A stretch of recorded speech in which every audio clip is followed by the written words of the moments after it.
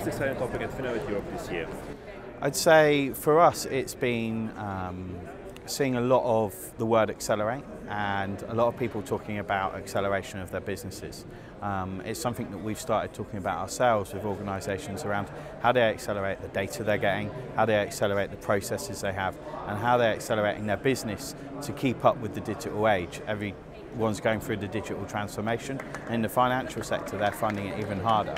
So it's really keeping up with that change that's happening and accelerating their business. What product are you showcasing today? So today we demonstrated our CRM and BPM platform.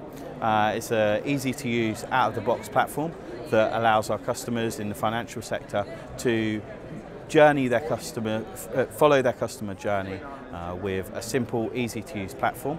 Um, very uh, intuitive and AI driven with a BPM platform uh, sitting behind it, allowing them to adopt the, the changes that they need very quickly within the platform and make those business processes work for them and their customers. Uh, what are the issues and challenges that you facing while providing the solution?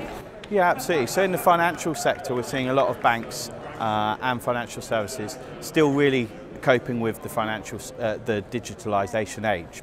So what we've seen recently is a real change in their attitude towards that. Uh, and the more change that happens, the better.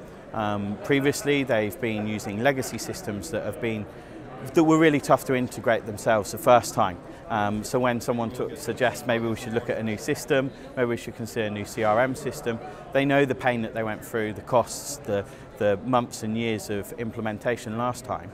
In actual fact, they're reserved from going through that again. We're seeing that change now and we're working with uh, the institutes to say that's not the way it needs to work anymore. We are really easy to implement. We're talking weeks and months of, of, implementation. It's really quick to do that. But also we're seeing a higher user adoption rate than previously within banks and financial services because we've got a, such an easy user face for them to use. And finally, it's about then giving them the access to data and bringing in all of their other business data that they have and their uh, customers' data. Previously, that's been really hard for them, really challenging. But with a really open API, we're able to do that really quickly. So that's the biggest challenge at the moment, getting in front of them and saying, you don't have to go through a painful, expensive, long process. In actual fact, we can make it really simple and quick for you. Going forward, what are the trends and advancements that we should expect in 2018?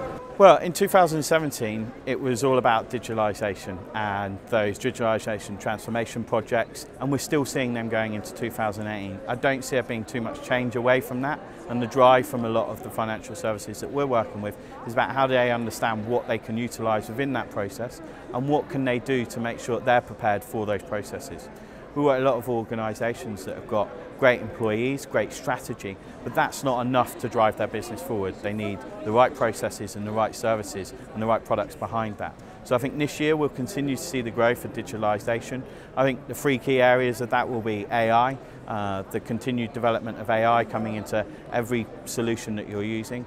Process management will also deliver that, keeping to set processes in the financial services sector. We see that more and more, that need to have set processes in place. And I think finally, it'll be about access to smart data. So taking AI data, taking all of the data that the banks have and financial services have, and driving that more into their business so that they can make those right decisions with their customers at the right time.